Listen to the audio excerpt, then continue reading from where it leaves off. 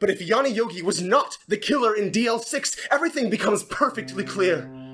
The murderer, the real criminal of the DL6 incident, it was me!